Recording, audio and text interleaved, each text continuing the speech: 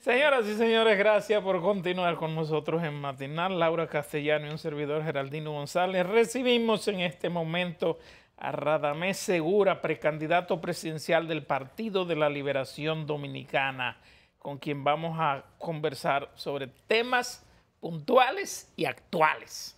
Buenos días, Radamés. Bienvenido. buenos días, Geraldino. Laura, buenos días. Qué bueno que llega en este momento. En Hola Matinal. Bienvenido, un placer tenerle por aquí. Cuéntenos cómo van esos preparativos. Usted es miembro activo del Delfinario, del PLD. No, no, tan peyorativo quizá como se ve, pero... No, no, pero no peyorativo. Lo que ha pasado es, que... Es un grupo peleando por ser el delfín del En el caso de nosotros, en el caso mío, nosotros hemos pasado por dos etapas. Primero, eh, del marzo, abril del año pasado para acá, estuvimos trabajando con la formación de núcleos, estructuras, ¿verdad? En todos los comités intermedios que conforman la geografía nacional.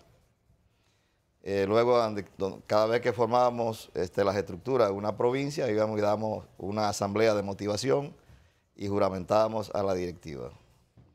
Así nosotros tuvimos la oportunidad de recorrer todo el país. Pero del 23 de julio para acá, en que hicimos la reunión con el presidente eh, Medina, y nos comprometimos, ¿verdad?, con el tema de las encuestas para la primera semana de septiembre, pues personalmente yo he tenido que recorrer el país nuevamente a una velocidad eh, récord para este, explicarle a, los compañeros y a las compañeras y a las personas en sentido general eh, la buena nueva.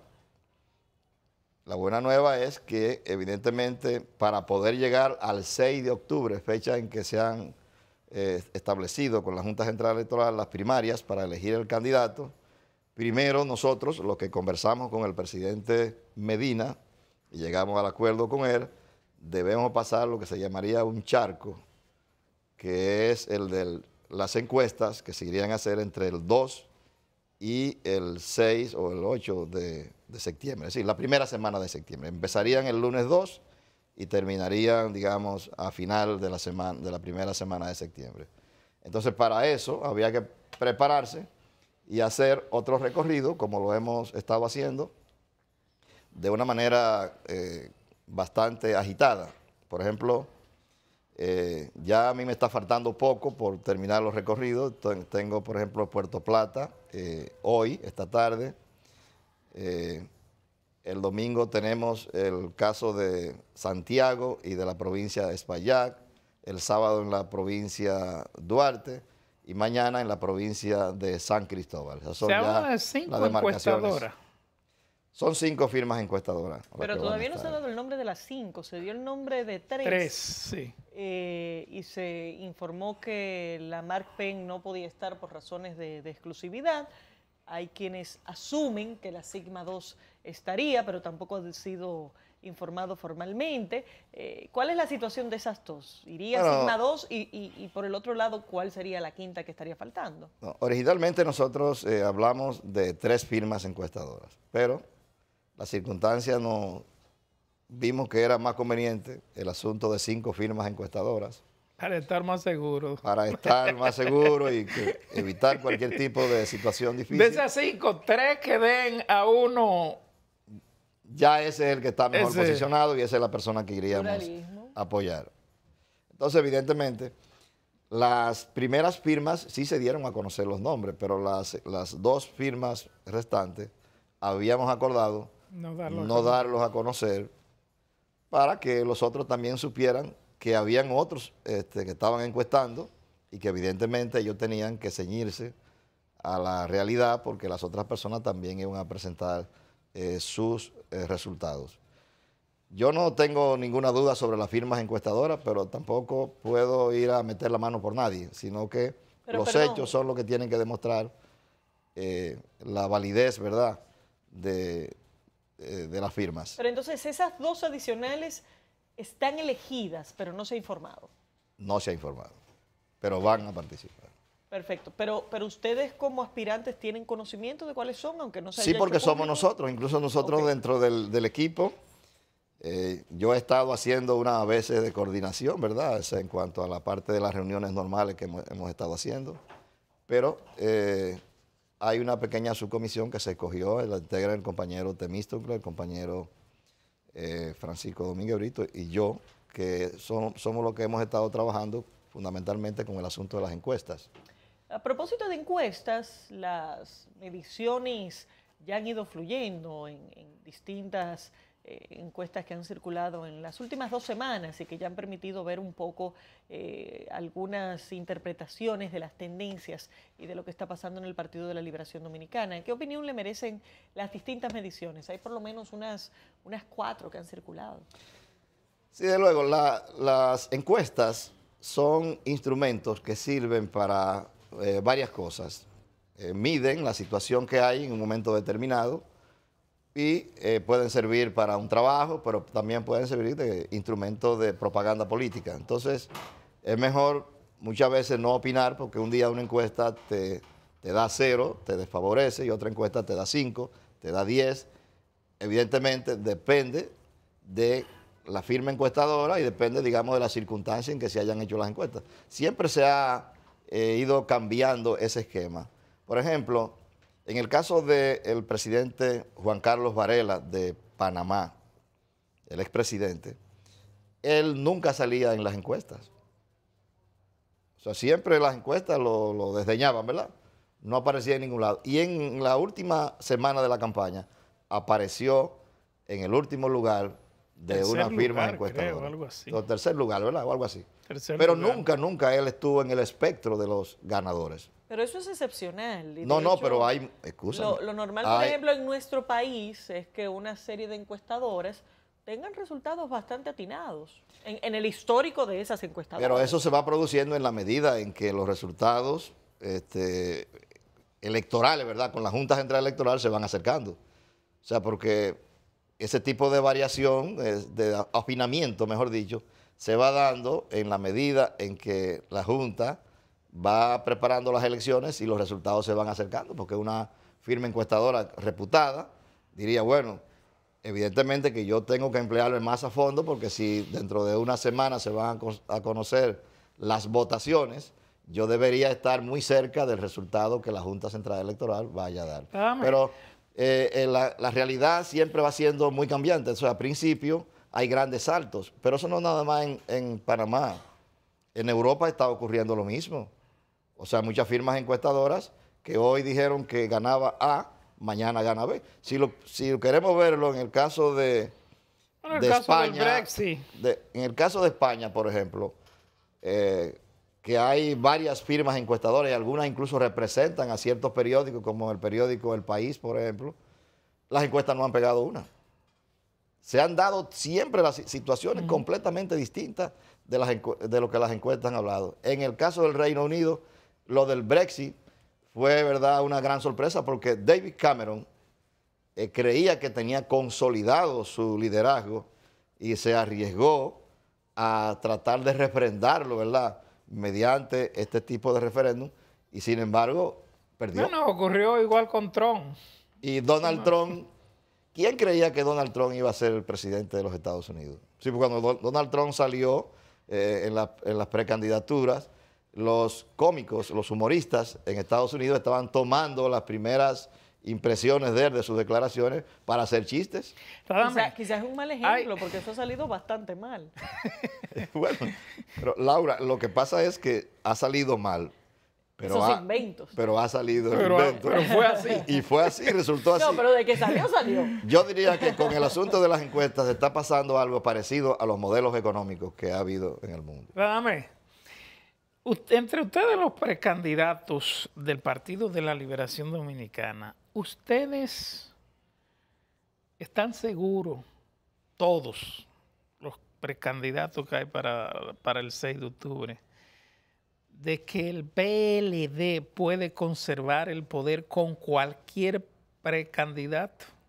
Sí, yo estoy seguro que el PLD ganaría. Gana las elecciones. Las elecciones con cualquier precandidato. Lo que el PLD tiene que conservar es la unidad.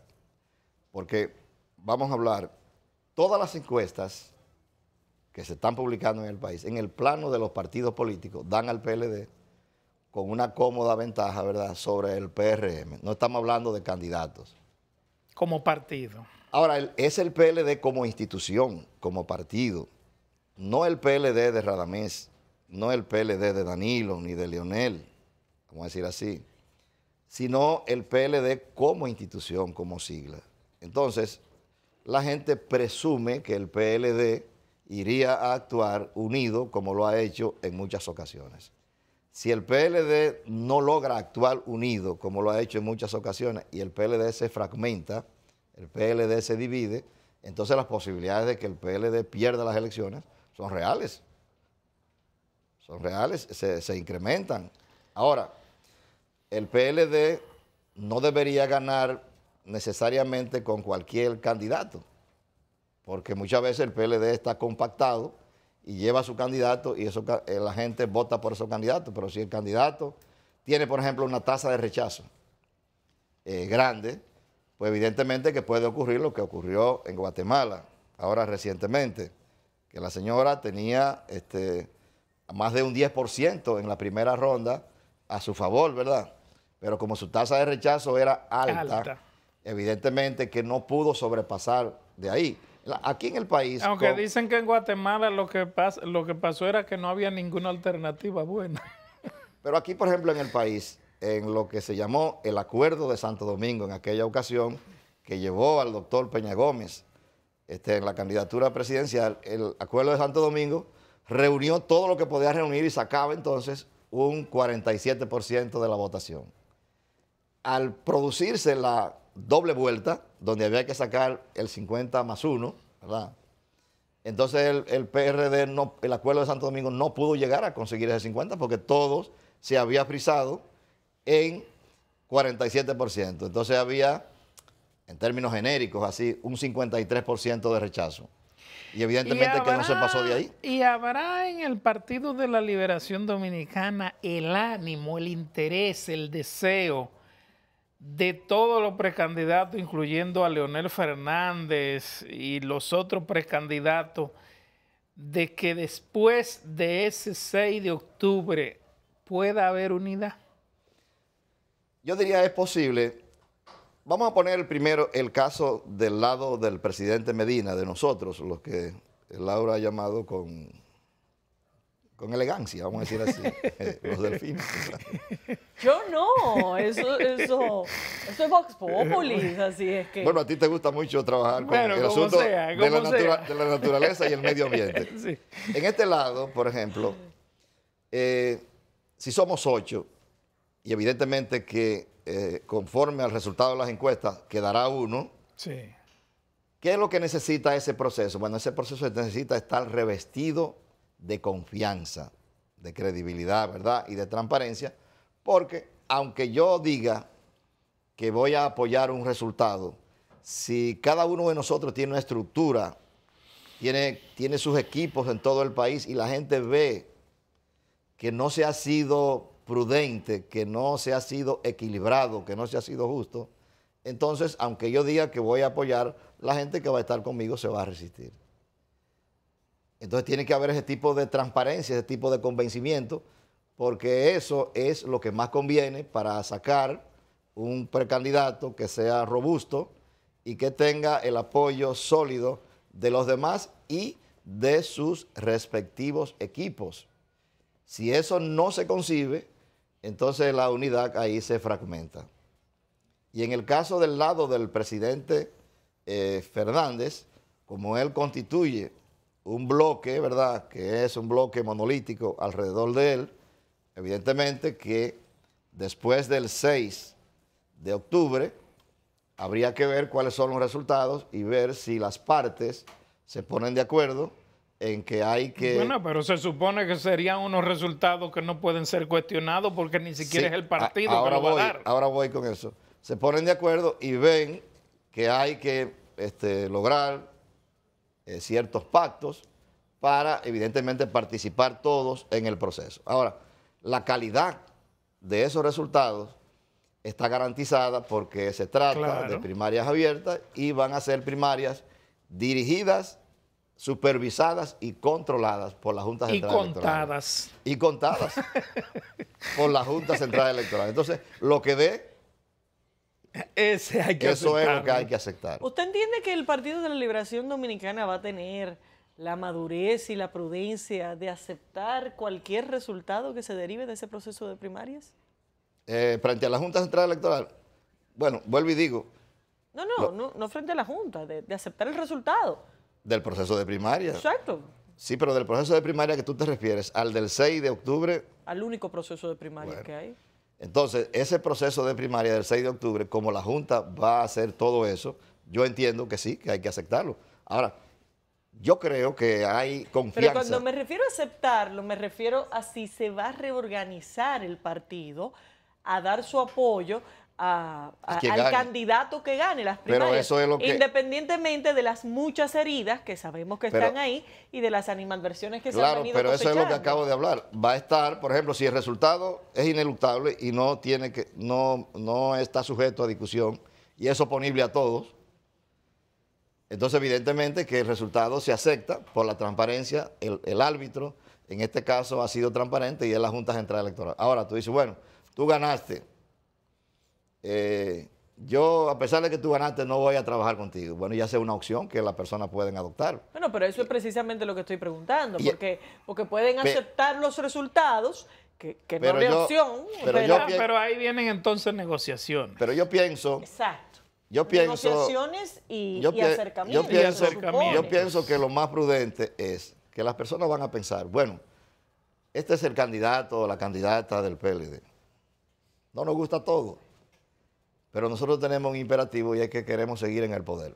Conservar el poder. Entonces, si queremos seguir en el poder, estamos obligados a buscar ciertos pactos, ciertos avenimientos, ciertos acercamientos. Aunque a las personas no nos guste del todo, pues deberíamos aceptar determinados resultados, porque los resultados son válidos. Bueno, si los ningún- resultados hubiesen sido objeto candidato de un le gusta a todo el cuestionamiento, mundo. ya ahí no, ¿eh? Ningún candidato le gusta a todo el mundo. Sí, naturalmente. Si, si- si así fuera, ni elecciones hubiera que hacer. Las cuestiones son heterogéneas. O sea, eh, eh, nadie es como se llama una monedita de oro que le gusta a todo el mundo, sino que hay personas que, que te favorecen y personas que te desfavorecen y cada quien tiene algún tipo de predilección. Pero yo entiendo, resumiendo, que lo más prudente es, primero, que el proceso de los ocho sea transparente, sea este, revestido de confianza. Luego quedarían dos, el presidente Fernández por un lado y el, el ganador de los ocho por otro. Ese proceso va a culminar y es un proceso de la Junta Central Electoral el próximo 6 de octubre. Y evidentemente lo que salga de ahí, quien, quien gane el proceso, este, deberá recibir el apoyo del partido como Y no podría darse una situación que el presidente Fernández y el que salga del grupo de Danilo Medina pudiesen llegar a algún tipo de acuerdo antes de que se den los resultados de la primaria diciendo, bueno, tú ganas, yo te apoyo, tú, tú- o- o- o yo- sobre esa base. Eso es posible, porque todo esto en, en política, las negociaciones se pueden producir de un día para otro. Exacto. Y las cosas van, son en verdad cambiantes. Y lo que ayer se creía imposible, hoy se cree eh, totalmente factible. Lo que pasa es que en ese Pero caso tendría que ser antes de, antes de que se celebren la- la- las primarias. Bueno, puede ser. No, si antes de que se celebre la primaria debería este, hablarse de ese tipo de, de cuestiones para evitar que los resultados puedan ser resultados que, que dividan en vez de unir. ¿Entiende usted Bueno. que ha sido equitativa la competencia entre el grupo de los ocho? Eh, se han visto denuncias de distinta naturaleza. Reinaldo Pared Pérez, que por demás es el secretario general del partido, ha hecho acusaciones de campaña sucia. Ha habido otro tipo de denuncias eh, de que se usen las influencias desde el gobierno eh, para favorecer a alguno de los miembros del grupo en particular. ¿Cuál es su percepción de ese tema? Sí, mire, yo he decidido mantenerme al margen de todo eso, porque yo estoy dividiendo al PLD en dos partes, en dos partes, desde el punto de vista económico y social. Hay una parte arriba que tiene cierto nivel de satisfacción, ¿verdad?, de sus necesidades materiales, de existencia, que tiene buenos empleos, que tiene buenas facilidades, que les ha ido bien, vamos a decir así. Entonces hay otra parte abajo en el PLD, que son los desempleados, los que se encuentran disgustados, los que no han conseguido determinadas facilidades con los gobiernos del presidente Leonel Fernández y los gobiernos del presidente Danilo Medina. y están también aquellos empleados que aunque están ganando algo, pero no están conformes. Por ejemplo, un empleado que gana el salario mínimo, que lo gana, ¿verdad?, más de la mitad de la empleomanía pública, ese salario mínimo es de 10 mil pesos mensuales. Sin embargo, el costo de la canasta familiar publicado por el Banco Central este, es de más de 30 mil pesos mensuales. Entonces esa división que hay ahí desde el punto de vista económico y social es muy importante. Yo he pretendido erigirme en el representante de los de abajo, de los que sufren, de los que no tienen empleo, de los, que, de los empleados que están inconformes y he entendido que otros, quizás lo que tú eh, infieres de una manera muy delicada, de que pudieran estar haciendo demostraciones de poder o de opulencia, ¿verdad? O, demostraciones de que tienen recursos, pudieran colocarse en el lado de lo que tienen resuelto su situación económica y social. Porque hay un principio que viene del materialismo histórico y del materialismo dialéctico que establece que las causas económicas determinan las sociales y las sociales determinan la política. ¿Pero es equilibrada la competencia de esa forma? Bueno, para mí lo sería porque yo he hecho mi trabajo con la gente de abajo. Y la gente de abajo, los que están en las condiciones que yo he descrito, son mucho más que los que están en, las otras condiciones. Por ejemplo, la, empleomanía del país, hay alrededor entre 600 y 700 mil empleados públicos. Pero de eso tú tienes que deducir los militares, los guardias, los policías, los maestros, los médicos, etcétera. ¿Cuántos empleados puede eh, proponer un gobierno? Pongamos 300 mil personas, 300 mil empleados. Pero el PLD ahora mismo se reputa con una matrícula de 2.9 millones de, de compañeros y compañeras, ¿verdad? Entonces, el margen de las personas que no están dependiendo del gobierno del partido y que son miembros del PLD es muy alto. Y evidentemente que ahí estaría la decisión de si los compañeros quieren este, continuar la situación que tienen o quieren cambiar. Yo no estoy proponiendo quitarle a nadie lo que tiene, su estado de bienestar. Yo estoy proponiendo que los que no tienen, los que no están bien, alcancen ese bienestar. Y yo voy a procurar que ellos alcancen ese bienestar. Entonces, desde ese punto de vista, el tipo... Pero, pero ¿cómo? ¿Llevándolos al gobierno? No, no. Llevándolos al gobierno no, porque yo estoy proponiendo un plan para convertir al país en una nación altamente exportadora de bienes y servicios a los mercados internacionales. Estoy proponiendo un cambio de modelo económico eh, de manera estructural. Y entonces, sobre la base de eso, se van a generar una cantidad grande de empleos, pero también una gran cantidad de oportunidades para las pymes, para las personas que quieran ir a hacer el emprendedurismo. Entonces, evidentemente, yo estoy proponiendo ese bienestar. El bienestar de las personas no se alcanza simplemente con que tengan un puesto en la administración pública. De hecho, el motor del empleo es el sector privado, son las familias las que eh, producen la inmensa mayoría de los empleos en la República Dominicana y en los países desarrollados. Radame Segura, gracias por estar con nosotros en el día de hoy. Buena suerte entonces en esas encuestas que vienen ahí. Gracias a ustedes. Muy amable. Señoras y señores, hacemos una pausa y regresamos en un momento.